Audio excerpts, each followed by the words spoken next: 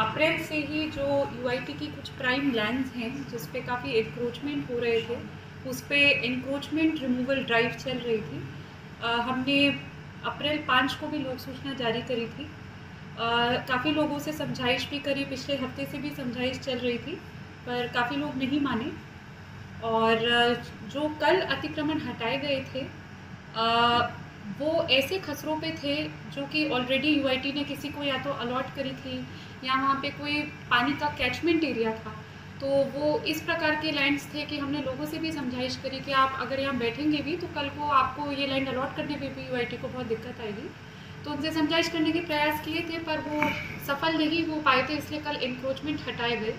और वो इंक्रोचमेंट्स ऐसे थे जो पिछले दस दिनों में ही किए गए थे तो वो काफ़ी कच्चे प्रकार के थे टिन शेड वगैरह प्रकार के थे। तो उनको हटाया। वहाँ पे फिर जो पाक विस्थापित समाज था, जो वहाँ बैठा था, उनका काफ़ी विरोध भी हुआ।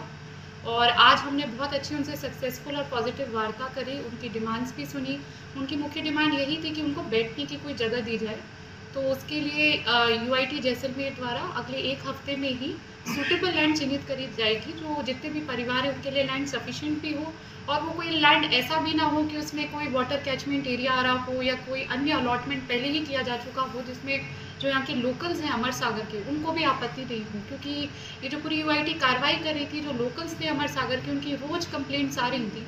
तो एक रूटीन जो इंक्रोचमेंट रिमूवल था, वो तो हमारा लगभग पूरा हो गया है और क्योंकि आज बहुत अच्छी हमारी वार्ता भी हो गई, जितने भी पाक विस्थापित हमारे यहाँ रिफ्यूजीज़ हैं उनसे, और वो मान भी गए क्योंकि उनकी प्रमुख